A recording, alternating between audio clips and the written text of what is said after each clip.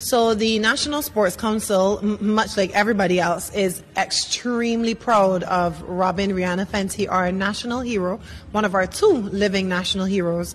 And for such a historic occasion like the Super Bowl for a Bajan born and raised here to be performing is truly something that we wanted to get involved in we decided that we wanted to make it accessible for all, so we made it free admission.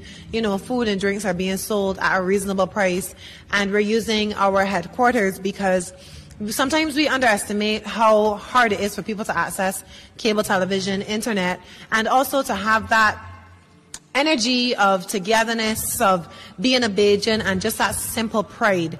And we decided that we'd bring everybody here, no matter your age, we had a lady here with a cane, no matter. Just come and be surrounded by your fellow Barbadians and have a good time. We started at 4 p.m. The crowd is building. We anticipate that people will get here about 6 because, you know, you have to prepare for the week. So we are expecting upwards of 1,500 people. As you can see, our floor can hold that capacity. We've made it extremely easy for people to come who don't want to be in the crowd, and you can sit in the stands. And we're going to go until about 12, midnight, 1 o'clock in the morning, and then we close off. Um, obviously, no weapons are allowed, no coolers are allowed. And we're just asking everyone to come out and obey the instructions of the members of the Barbados Police Service and the Fire Service so that we have a safe and enjoyable time here today.